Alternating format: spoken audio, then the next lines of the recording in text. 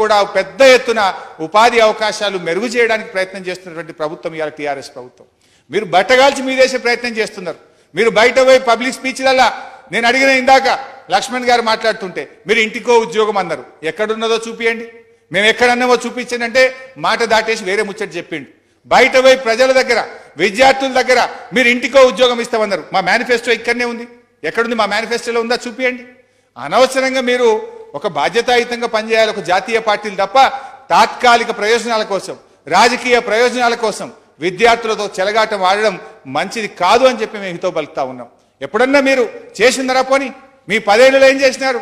ఇక చంద్రబాబు నాయుడు గారి నుంచి నేను ఇప్పుడు చెప్తలేను ఎందుకంటే ఆ పార్టీ లేదు. వారు ఒక ఉన్నారా? మీరు మీ పార్టీ ఉందా? చంద్రబాబు నాయుడు గారు ఒక పుస్తకం రాసిండు మనసులో మాట. మనసులో మాట అని ఒక పుస్తకం రాసిండు ఆ పుస్తకంలో రాసిన మాట ఏంటంటే ఉద్యోగాలు నియామకం చేయొద్దు ప్రభుత్వ ఉద్యోగాలు భర్తీ చేయడం వృధా. ప్రభుత్వ ఉద్యోగం అనేది శాశ్వతం. భద్రం అనే భావనతో పనిచేయకుండా ఉన్నారు. ఉద్యోగుల జీతభత్యాలు పెన్షన్ వల్ల ప్రభుత్వం అప్పుల ఊబిలో చిక్కుకపోతుంది. ఇప్పటికే లక్ష ఉద్యోగులు అదనంగా ఉన్నారు.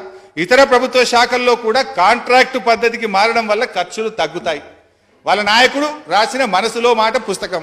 వాళ్ళేమో ఇక్కడ ఉద్యోగాలు ఇవ్వమని మాట్లాడతారు. వాళ్ళు పెట్టిన మేనిఫెస్టోలా. బాబు వస్తాడు జాబ్ ఇస్తాడు.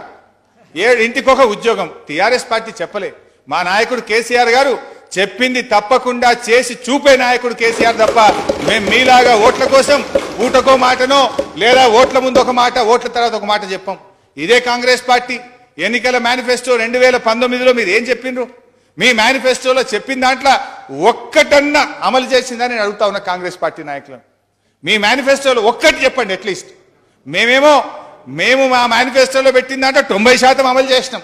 ఇంకా ఇరవై నెలల సమయం ఉంది మిగతాయి కూడా అమలు చేయడానికి చిత్తశుద్ధితో మేము ప్రయత్నం చేస్తున్నాం.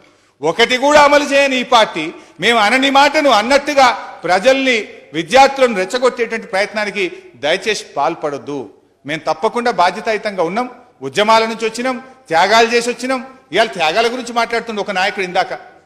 వాకౌట్ చేసేటప్పుడు రాజీనామా చేద్దామంటే ఉన్న ఒక్క ఎమ్మెల్యేను ముంగడికి నూకి ఆయన మాత్రం రాజీనామా చేయకుండా ఉన్నాడు. ఆయన ఇవాళ త్యాగాల గురించి మాట్లాడుతున్నాడు.